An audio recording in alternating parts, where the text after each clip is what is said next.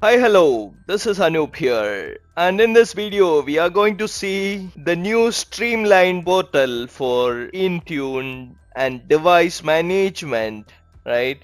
So, this is Microsoft 365 device management. I don't know why it says clone of dashboard, right? It should say dashboard, right? Probably something Microsoft should fix as soon as possible. Okay, that's fine.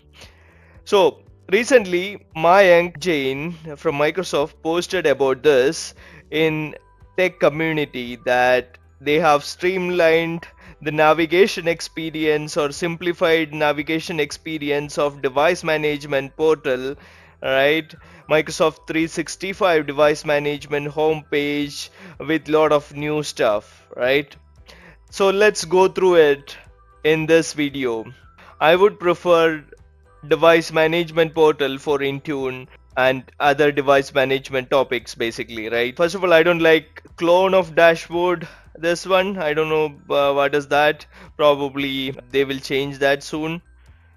Okay so apart from that the dashboard looks it's very useful uh, from a from my perspective. Dashboard is very useful right you can get the overview from this dashboard. Something like device enrollment is okay device compliance is not okay. I have three devices that has issues. Device configuration i have some uh, device configuration errors in my tenant or intune configuration right? Client apps some failures are there. Uh, this is very useful from a day-to-day operational perspective right? And it will give you uh, the details of enrolled devices like I have Windows 20 devices complaint status is 3 non-complaints is 3 and total is 20 and device configuration profile status right? User weak trend. Okay that's interesting.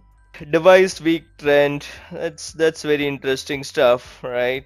If I want I can edit the dashboard okay by clicking on this done customization. Okay so if I can edit it and say not clone. Okay so it became dashboard. That makes sense right? So Microsoft is giving us an option to edit and make it my dashboard right? I can say Anoop's dashboard right? That's interesting. Okay that's interesting. Okay cool. And I can clone the dashboard if I want that's also interesting stuff. Wow. Oh this is super super efficient I would say. Okay cool. I can personalize my, each each admin can personalize their own dashboards right? So that's pretty interesting.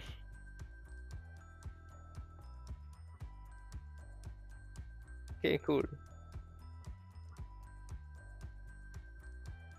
So first is home if I click on home on the left hand side navigation you will see uh, what is my default directory and tenant details right? And it's healthy and all the details like so that's pretty nice. What is new and all the all the details are available here in the home button right? When you click on home button and navigate through the home page. So dashboard is as as we already mentioned right all services all services right in that you can see devices desktop analytics services there that's pretty nice stuff. Tenant administration troubleshooting groups users apps oh everything is there it's interesting that we can see M365 Active Directory, Azure Active Directory, and if I click on that, it will open up a Azure Active Directory portal aad.portal.azure.com. That's that's very interesting, right? Okay, so there are a lot of customized portals available, but maybe because they have different organizations within Microsoft, right? One is Microsoft 365 organization and other one is Azure organization. So they have different portals for those uh, for for those organizations. And for them it probably it's easy to manage uh, this portal or manage or update this portal from a Microsoft 365 organization point of view. I don't know like I'm just assuming. Yeah. Okay anyways so that's that's really interesting right? And uh, my favorites are already kind of selected. De- default favorites are devices apps users groups and tenant administration. Tenant administration is the is the piece kind of one time activity kind of stuff right?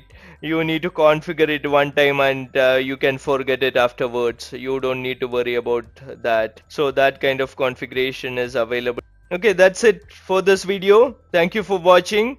If you like the video please click on like button. If you don't like the video please click on dislike button or thumbs down button. Until next time, bye bye.